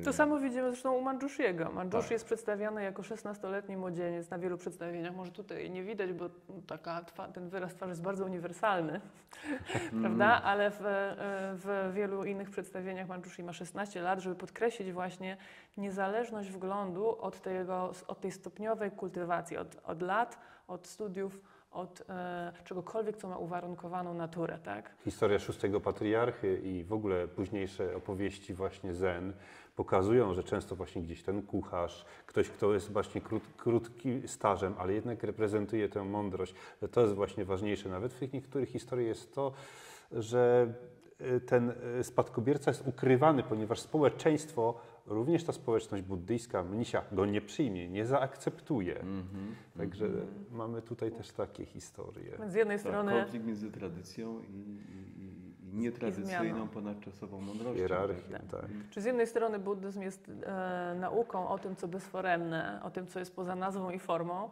a z drugiej strony no, jednak mamy coś do zaproponowania i być może wskrzeszenie tak, tej wiedzy o e, histor- historiach, e, nie wiem, nawet poprzednich wcieleń Buddy, Jataka Tales, czy opowiadanie o tym, co się znajduje na koreańskich tenhua, może pełnić taką funkcję edukacyjną e, no, dla osób, które jednak z emocjami przecież się zmagają. No, umysł przejawia się jednak w świecie formy i pamiętam, kiedy przyszedłem do tej szkoły, zadałem tutaj obecnemu Sansanimowi pytanie podczas mowy Darmy. E, Pytanie dotyczyło tych wszystkich ceremonii, obrzędów, form, ołtarza i tak dalej. Wówczas dostałem odpowiedź, którą do dzisiaj pamiętam i którą czasem też, jak ktoś zapyta, mówię, no to chodzi o to, że umysł zawsze przejawia się, nasze życie przejawia się w jakiejś formie i praktykując te formy tutaj, właśnie formalnie, masło maślane, kultywujemy w ten sposób właśnie umysł. Tak, e, no przecież o tym mówi też Sutra Serca, prawda? Forma jest pustką, pustka jest formą, więc jeżeli mówimy o pustości ostatecznej, absolutnej, to musimy pamiętać o tym, że ona przenika e, świat nazwy i formy i e, nie możemy oddzielić, to nie są jakieś dwie przyklejone do siebie lub wręcz co gorsza oddalone od siebie rzeczywistości. One się przenikają. W, poemacie mistrza Zen Sung Sana w, kompasie Zen jest powiedziane to i kurz przenikają się, tak? E, to przejawia się we wszystkim, w każdej istocie, w każdym zjawisku. Mm, e, dlatego tak naprawdę, gdy e, szukamy doświadczenia pustki, to ono nie jest bardzo daleko. Wystarczy, że, że umysłem nieprzywiązania i niergnięcia pozwolimy odbić się światu, światu formy w nas. Jeżeli chcemy zobaczyć przekaz, e, który płynie do nas z tych świętych malowideł, musimy pamiętać o tym, że one są manifestacją jakiejś, e, tak jak tęcza jest, czy, czy, czy, czy barwy tęczy są manifestacją jednego światła, prawda? Tak samo e, świat barwy, która, którą widzimy w malowidłach, chociażby religijnych, jest niczym innym jak rozszczepieniem czegoś, jakiegoś absolutnego źródła. No dobra, no właśnie też chciałam powiedzieć o kolorach. E, e, te tękła koreańskie mają swoje swoiste kolory, Określone. prawda? Mhm. E, Możesz coś o tym opowiedzieć? Ja chciałam później zinterpretować to od strony neuronauki, bo tak troszkę O. poszukałam. O, to ciekawe. No, ja znam kilka takich typów. Głównie tutaj rozchodzi się o tło. Mamy tło czerwone, mamy tło czarne, kontury. O, tutaj mamy na przykład te, tęchła czerwone, gdzie kontury są koloru złotego, ale mamy też, e, no, tam są, znam takie przedstawienie um, Jijang Bosal, czyli Kshitikarbhy Bodhisattwy, gdzie to, y, te tła są y, różnokolorowe, ale tam dominuje bodajże granat, granat i zieleń. Mieliśmy tutaj też strażników. E, najpierw one, one to były chyba ci strażnicy tacy właśnie granatowo-zieloni, a później czar, czarni, prawda? tak, tak, to teraz, e, Mhm. teraz oni wiszą e, w Głogowie. I jakby archetyp rozumiany jako pewna rola społeczna, na przykład stary porządek, nowy porządek, współczucie czy mądrość, to jest jedno. Ale istnieje też coś takiego jak archetyp na poziomie neurofizjologii naszego układu nerwowego, bo te kolory, czerwony lub błękitny, też mają jakąś taką wspólną, ponadkulturową, immanentną jakość, która jest e, mm, do ode, możliwa do odebrania przez każdego człowieka niezależnie od kultury, jak archetyp, prawda? Na przykład czerwony Mhm. ma e, dłuższą długość fali, więc przez mózg jest interpretowany e, przy użyciu znacznie większej ilości energii, więc te czerwone e, obrazy są energetyzujące. Bóstwa waleczne, strażnicy darmy, często są właśnie Są czerwone. e, czerwoni. Tutaj mamy e, czterech niebiańskich królów czterech kierunków. E, Myślę sobie, że to jest ważne, żeby ich przedstawić. Oni, wprawdzie ten obraz jest cały czerwony, tak, ale to jest fajny przykład właśnie na to, jak waleczne czy symbolizujące nieustraszoność bóstwa mają ten niebieski charakter. Tutaj mamy naszą Kłansem Bosal, która ma właśnie zielony, e, niebieskawo-zielony e, kolor i z kolei to są kolory, które mają krótką długość fali, więc one raczej tonizują układ nerwowy. tak. Nie potrzeba zbyt wiele energii z- od komórek nerwowych, żeby przetworzyć te symbole. To samo dotyczy na przykład wizerunków e, węży, e, węży. Węż jest, e, wąż jest taką figurą mocy w Azji jeden z czterech królów, król nagów, którego widzicie tutaj, on jest królem zachodu, trzyma czerwoną, żarzącą się perłę i e, jak wielu nagów e, reprezentuje mm, świat podziemny, wypełniony taką siłą smoka. Może być przedstawiony jako człowiek ze smokiem w kapeluszu lub człowiek z atrybutem smoka e, w ręce. On ma tam smoka w drugiej dłoni. Mm, Będziemy to widzieli, jak e, zrobimy sobie zbliżenie. E, To też jest przykład właśnie tego, jak symbol węża, archetypowy symbol, jest instynktownie używany przez tych malarzy, bo się okazuje, że już sześciomiesięczne dziecko, które nigdy nie miało styczności z wężem, ze względu na swoją, swoje takie ewolucyjne dziedzictwo, te 60 lat e, naszych przodków na, w dżungli i na sawannie, reaguje e, rozszerzeniem źrenic, reakcją strachu, aktywizacją układu nor- e, e, e, adrenergicznego w, w mózgu, kiedy widzi węża. A zupełnie inaczej reagujemy na kwiat, prawda? Zupełnie inaczej reagujemy na łagodną twarz Juan Sembosal. Dzieci też reagują na twarz matki w sposób taki pierwotny, wrodzony. E, A artyści, tak? Artyści i malarze tękła, malarze buddyjscy instynktownie e, to wiedzą. Ale nie tylko instynktownie, bo tutaj wchodzimy y, na połączenie właśnie neurobiologia i ikonografia. Jest taki termin ikonometria. A więc to, że ci buddowie, bodhisattwowie, te przedstawienia są rysunki stare, przedstawiające w jaki sposób buddowie mają być przedstawiani, dlatego że tutaj chodzi o co? Chodzi o przekaz właśnie taki podświadomy, czyli to, to, to nie do końca jest podświadome. Widzimy e, posąg siedzącego Buddy, zharmonizowanego w pos- postawie, w pozycji medytacyjnej, spokojnego, ale jednak niesennego, to na nas działa. I to jest światom, świadomy zabieg ikonometryczny, świadomy zabieg właśnie. E, Ta sztuka, e, kiedyś słyszałem takie powiedzenie, że często, bardzo często sztuka współczesna to jest podążanie za projekcjami zaburzonego umysłu i stawianie ich jakby wyżej. Natomiast sztuka buddyjska w tym sensie neurobiologicznym e, ma znaczenie przeciwne, czyli ma jakby e, kie- Harmonizować. harmonizować, kierować nas e, ku tym zdrowym, tak zwanym zdrowym stanom umysłu, zrównoważonym To właśnie. też właśnie drugi, drugi strażnik, bo strażnicy mogą być łagodni lub właśnie nieustraszeni. Drugi strażnik, e, strażnik północy, Gandarwa, król Gandarwów, ma białą brodę. Jest przedstawiony jak taki właśnie dobrotliwy dziadziuś. Trzyma lutnię, która kojarzy nam się z czymś łagodnym, pięknym. Z, tych szamanistycznych wierzeń e, w jego jakby kompozycję zostały wmontowane takie idee, że on zamieszkuje, to wydało mi się to urocze, zapachy, O, kory i zapachy kwiatów. Przepiękne. E, On jakby włada, symbolicznie włada wszystkim tym, co jest jakby związane z naturą, z, z mm, drzewami, roślinami.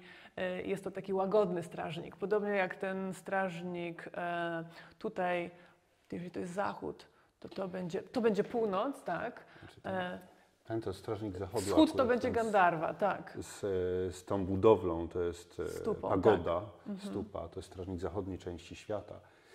E, tak, nie mamy tutaj akurat e, strażników groźnych. Tak, w tej, w tej sztuce koreańskiej nie mamy, natomiast w sztuce tybetańskiej, ale nie tylko, mamy właśnie, to jest ciekawa historia właśnie o archetypach, o emocjach. Mamy przedstawienia groźne, wręcz makabryczne, z czaszkami, z krwią, z pazurami, z zębami. I to jest ciekawa historia. E, otóż to pokazuje, że te e, straszne stany umysłu, one mogą zostać jakby, ich wektor, tak, przekształcone, ich Zmieniać, wektor zmienić. może się zmienić. Zmienić, tak. E, I historia jakby na wa- w warstwie mitologicznej jest taka, że te postaci kiedyś były złe, groźne, czyniły wiele, ale po jakby uzyskaniu tej buddyjskiej mądrości, w ten, dzięki wglądowi właśnie w ten umysł, zyskały właśnie ten nowy wektor i to, tą potężną moc złości, energii. No, o tym mówi psychoterapia, tak? Yy, że, że to można wykorzystać, że gniew, że to wszystko to jest To energia. jest energia. i można To jakby zmienić wektor. e, Można ją wykorzystać. Lepiej ją wykorzystać, zmienić jej kierunek niż ją stłumić, prawda? I w ten sposób zniszczyć. Tak, tak. I, I to jest obecne właśnie też w sztuce buddyjskiej, bardzo ciekawe, prawda? Ta mądrość jakby sięgająca głęboko ludzkiej natury, nie tylko tej, prawda, natury umysłu, ale też tej natury ludzkiej, z którą się mierzymy każdego dnia. Tak, znowu mamy to mądrość, Tak. wszystko akceptuje, wszystko przekształca, prawda? No właśnie, więc to też jest obecne. Mhm. Yy, mm, Są strażnicy groźni, których tutaj rzeczywiście nie ma, e, ale zostali przeniesieni do Głogowa i tam jest na przykład Uczusma lub Wejtuło, ale o, O. strażnikach to zrobimy jakiś osobny, e, mam nadzieję, osobną rozmowę. Chciałam Wam przeczytać, e, co o nich e, mówią praktykujący w szkole Zenkwanum na koniec, żebyście O powiedzieli... strażnikach generalnych. Tak, o strażnikach generalnie, żebyście Mhm. spróbowali zgadnąć, tak? która opowieść jest e, od osoby praktykującej na zachodzie, a która opowieść jest od osoby praktykującej na wschodzie. I niech was nie zmylą tutaj różne nazwy, które padną, dobrze? Teleturniej. Wydawałoby się, że, dość łatwy, no zobaczymy, czy damy radę. Okej. Więc tak. To jest e, opowieść numer jeden. E, dla mnie znaczenie strażnika darmy zawiera aspekt oczyszczający i ochronny. Coś na zasadzie składam wam szczery dar z gniewu i ignorancji, a wypromieniowuję współczucie i mądrość. Tak to u mnie działa. Wizerunki te trafiają we mnie. Są one wojownicze, z mocnymi atrybutami i kolorami. To jest jedna opowieść. Druga opowieść.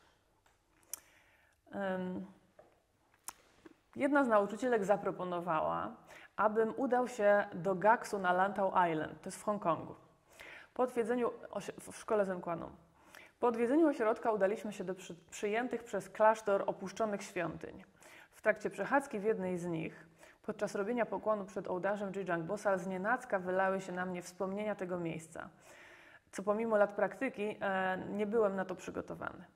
Pozbieranie się zajęło mi blisko godziny i w miarę spokojnie wróciliśmy do miasta.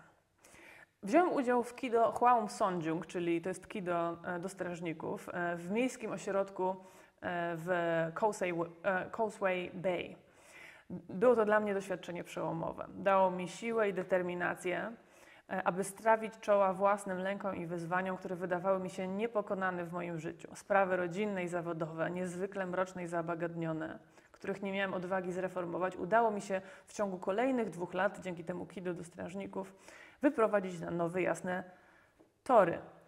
Więc wkraczając w ciemność, a innej drogi nie ma, potrzebni nam są specjaliści z mroku. I to są właśnie strażnicy darmy, które w godzinę próby chronią nas przed upadkiem głębiej. Bez spotkania z nimi, kultywowanie praktyki pozbawione jest substancji. I jeszcze ostatnia, krótka wypowiedź. Numer trzy. Nie trzeba szukać strażników w zaświatach sześciu buddyjskich światów, gdyż one wszystkie manifestują się tutaj na Ziemi oraz wszystkie mieszczą się w ludzkim umyśle jako stany emocjonalne. W związku z tym, realizując praktykę śpiewów do strażnika, staramy się pomagać tu i teraz naszemu światu i zamieszkującym go istotom, które są pełne gniewu, ale zmierzające tak jak każdy z nas do przebudzenia.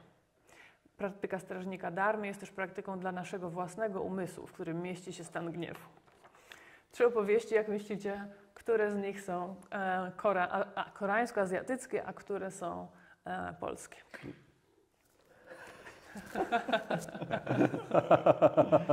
To się pcha do katastrofy pierwszy. Tak? Znaczy, Moim zdaniem pierwsza opowieść była koreańska. Mhm. I Mm. która była, a które były polskie? E, Polska na pewno była ostatnia. Mhm. E, no i przedostatnia też była jakaś zachodnia. Aha, a ty jak uważasz?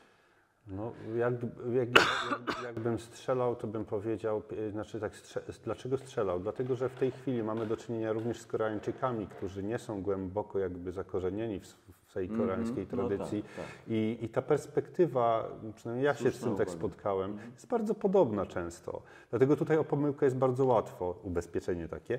E, Słusznie. ale, ale gdybym miał określić, to powiedziałbym pierwsza i ostatnia to jest Polska, Środkowa Korea. Okej. Wszystkie były polskie. No. E, Pokazuję tę historię po to, żeby pokazać e, nam na podsumowanie, jak różnorodna może być praktyka tutaj też człowieka zachodu. Że są osoby, które e, w bardzo pragmatyczny sposób, bardzo taki utylitarny podchodzą do starych symboli, a są osoby, które potrafią ożywić je w swoim umyśle, wejść w relacje z tymi archetypami e, i e, czerpać z tego w taki sposób właśnie Nie na poziomie pustki, tylko na poziomie takich oświeconych jakości, o których była mowa. Mhm. No tak, to rzeczywiście podkreśla tylko uniwersalność archetypów, prawda? Czyli, czyli tych głębszych struktur, które nie są już tak bardzo różne, czy mówimy o ludziach z kultury zachodniej czy wschodniej, prawda? Tylko pokazują no, uniwersalność archetypów. Ale to też dotyczy takiej ogólnoludzkiej tendencji, która przejawia się w tym, że przyjmujemy na przykład jakąś religię, jakąś mitologię, jakąś opowieść i adaptujemy ją jako swoją. To jest najprostsze dla mnie wyjaśnienie tego zjawiska, ponieważ zaczynamy się utożsamiać z tym. To jest moja, przychodzę tutaj, praktykuję tutaj, to jest moje, więc zaczynam jakby y, integrować to ze, Tak. z sobą. I to ma miejsce we wszystkich. Tak samo no, tak jak do Polski do, do, dotarło chrześcijaństwo w pewnym czasie, no, religia, która powstała gdzieś na pustyni Bliskiego Wschodu, nagle stała się bardzo bliska i osobista e, człowiekowi tutaj żyjącemu pośród lasów, który wcześniej zupełnie... Czyli te zewnętrzne formy i symbole muszą stać się ostatecznie przestrzenią naszego wewnętrznego świata, tak? Tak, musimy je adoptować, adaptować do tego, bo gdyby ta, te osoby e, traktowały je jako coś egzotycznego, obcego, jak często jest to mówione, to jest nie, z nie naszej kultury, to by na pewno tego typu doświadczenia, na pewno to trudno powiedzieć, bo co tam głęboko w podświadomości tkwi, nie wiadomo. No właśnie, ta, Mhm, ta, ta archetypowość e, wygląda tylko egzotycznie, ale jak się zastanowić, to historia o Anandzie, Buddzie, Shakyamunim i Mahakashyapie całkiem nieźle wpisuje się w inny e, zestaw archetypów używanych we współczesnej psychologii, na przykład w tak zwanej analizie transakcyjnej Erika Berna. Tam też są archetypowe role, takie dokładnie tak samo jak zostały rozdane tutaj. To jest Czyli rola dziecka. Ananda peł, może być pe, pełnić taką rolę dziecka. To jest rola rodzica nakazującego, no, ro, ro, rodzica normatywnego, który formułuje zasady. To jest Mahakashyapa. E, Jest tam też rola dorosłego i rodzica opiekuńczego. I Buddha byłby tutaj być może takim rodzicem opiekuńczym. Więc w wielu różnych systemach, również całkowicie świeckich, tak?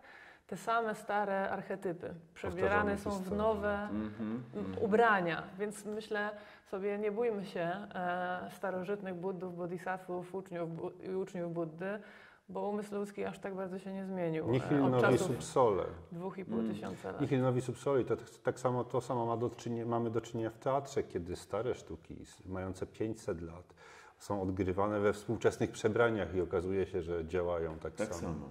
Niosą ten sam przekaz. No. Na koniec chciałam zaproponować jak zwykle medytację.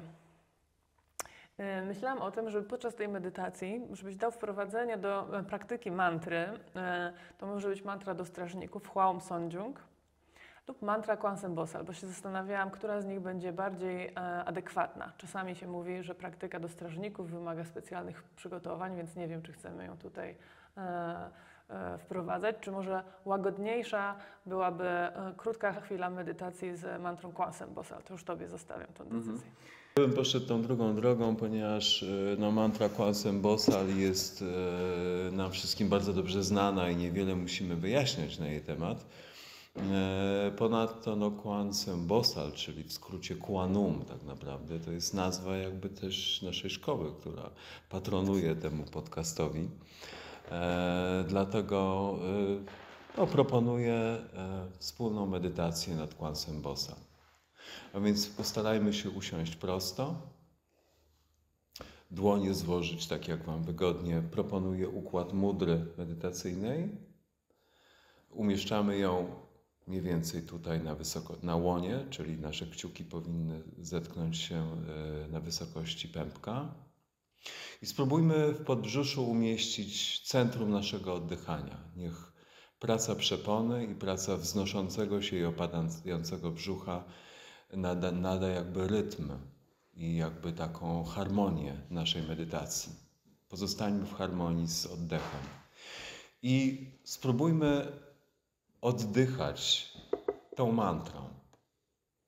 Spróbujmy odnaleźć swój własny rytm w oddechu i połączmy to z mantrą Kwansen Bosal.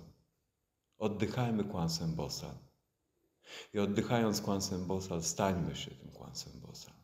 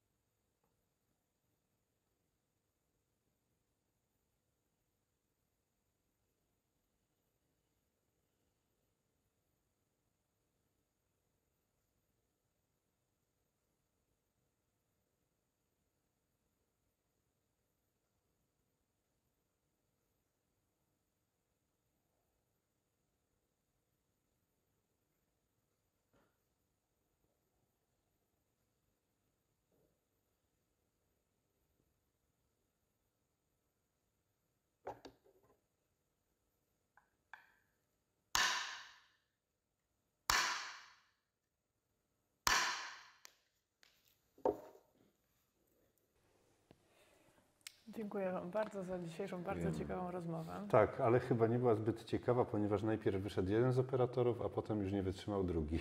Dziękujemy. Także pozdrawiamy Was. jesteśmy. Też naszym operatorom. Razem z Wami, mam nadzieję. E, Myślę, że też e, w powietrze, w eter podziękujemy De Ansunim, która właśnie zaopatrzyła szkołę Zenkłanu w te piękne malowidła, które znajdują się, można No oglądać je w muzeum e, I w innych Płocku. ośrodkach Mhm. naszej szkoły w Europie. Tak, rozumiem, że ta wystawa w e, Płocku jest otwarta dla zwiedzających. Tak, jest otwarta, bo jest to stała wystawa, a więc jest dostępna cały czas. Znajduje się tam sześć obrazów. E, Mamy tam e, Jijang Bosal, czyli tego bodhisatwę e, działającego w piekłach. Mamy tam króla Bardo, bardzo ciekawy, ciekawe przedstawienie sądu ostatecznego, takiego przedostatecznego. Mamy właśnie Gamnodo, gdzie to jest ten koreański Hieronim Bosch. Mamy tam różne światy. Buddha Amitabha oraz Siedem Gwiazd. E, Chcemy też podziękować wszystkim naszym patronom, osobom, które wspierają nasze filmiki, bo bez Was e, niemożliwe byłoby nagrywanie z naszym nowym sprzętem w takiej jakości, jaką e, mamy teraz. Wspierajcie nas nadal, jesteśmy, e, jesteście nam, nam, potrzebni. No i cóż, winniśmy jesteśmy, winni jesteśmy również chyba podziękowanie e, wszystkim strażnikom i bodhisattwom, które mam nadzieję trzymają pieczę nad naszym projektem i również nad tym dzisiejszym spotkaniem. E, tak więc głęboki pokłon w stronę również tych, o których dzisiaj mówiliśmy. Mhm. Mimo, że e, starych strażników e, już z nami nie ma, wyjechali do Głogowa, to czterech e, niebiańskich królów, czterech kierunków, ci strażnicy nadal są z nami. Są z nami w Głogowie.